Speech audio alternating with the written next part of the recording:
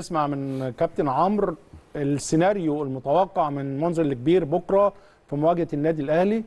الحسابات اختلفت حسابات مختلفة تماما. مباراة الراجل خسران فيها 2-0 هو هنا المباراة كان بالنسبة له التعادل أو حتى الخسارة 1-0 بالنسبة له ما كانتش هتبقى مشكلة كبيرة.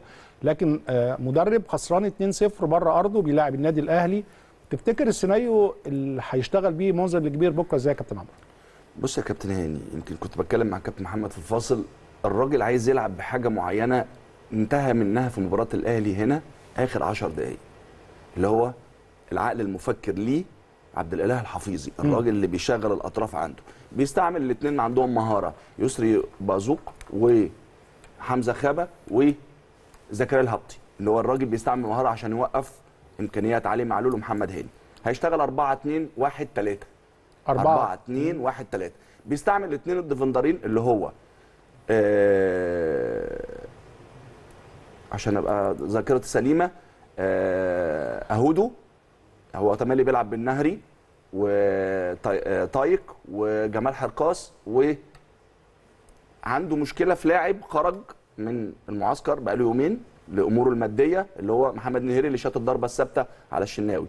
آه، محمد معقازي رجع للفرقة تاني عنده اتنين defender آه، روجيه أهولو الراجل الافريقي بتاع توجو وعنده محمد زردوق.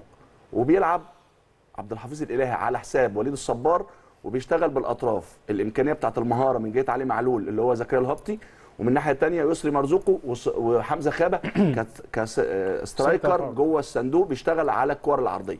لو رجعت يا كابتن هاني للسنة اللي فاتت في مباراة الرجاء هم مع دوشة الجماهير وحماس الملعب الكور العرضية التمركز الدفاعي لينا.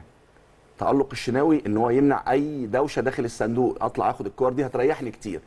كولر هيشتغل بالمواصفات اللي لعب بيها هنا بس بدل 4 1 4 1 4 4 1 1 إزاي تنقلني counter attack من الدفاع للهجوم عشان أقدر أنهي الهجمة هناك. أنت بتتكلم 4 4 1 1 ده والكرة متحركة. ممكن ال formation يبقى 4 3 3 بالظبط كده.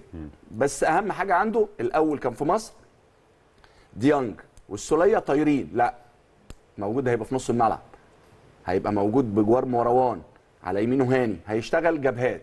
هاني وديانج وتاو. الجهة الثانية علي معلول حمدي فتحي حسين الشحات.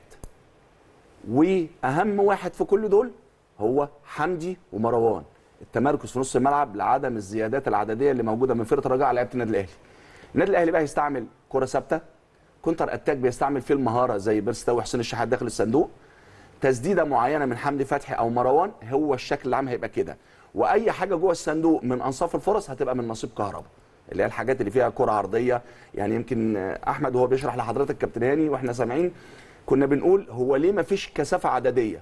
ده الطعم اللي عمله كولر و... واستفاد منه وبلعه منذر لكبير يعني كان مقصودة؟ باينة قوي باينة قوي كهربا كان بيلعب فترات كان كان لوحده وسط أربعة خمسة على خمسة واحد. يعني. آه خمسة على واحد. الشوط الثاني آخر 12 أو 13 دقيقة كان بيبقى جوه الصندوق حمدي ومروان.